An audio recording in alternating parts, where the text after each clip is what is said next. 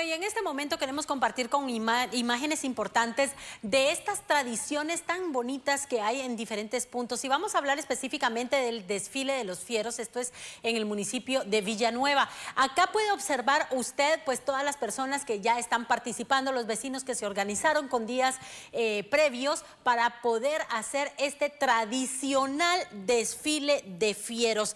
Recordemos que este desfile es parte ya de la cultura de este este municipio. Estamos hablando que son 250, eh, más de 250 años de historia que se ha hecho por medio de la creatividad. Muchos, pues ustedes pueden observar donde se conjuga el humor, la sátira, de repente, pues eh, la música y, sobre todo algunos personajes que se adoptan para poder ser parte de este desfile. Son varios de los vecinos que se han organizado con días anteriores y para estar listos en este día especial, que ya se ha convertido en una eh, gran tradición.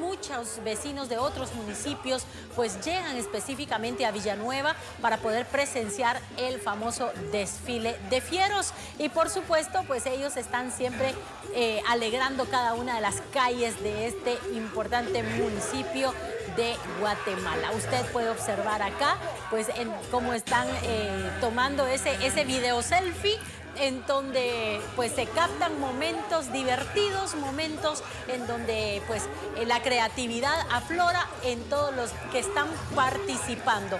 Aquí estamos viendo jóvenes, hombres, mujeres, niños, incluso ya personas, incluso de la tercera edad, que se han vuelto parte de esto y que cada año esperan este desfile. En familia deciden incluso qué disfraz utilizar, de repente esta máscara, eh, utilizo este atuendo, este maquillaje, este algún accesorio adicional pero lo cierto es que todos son creativos. Así es que es parte de las tradiciones que nosotros le estamos eh, a usted compartiendo por medio del noticiero de los guatemaltecos. Y con estas imágenes nos vamos a ir a la pausa comercial cuando son las 7 con 41 minutos, pero regresamos enseguida en este 1 de noviembre con más información en Noticiete.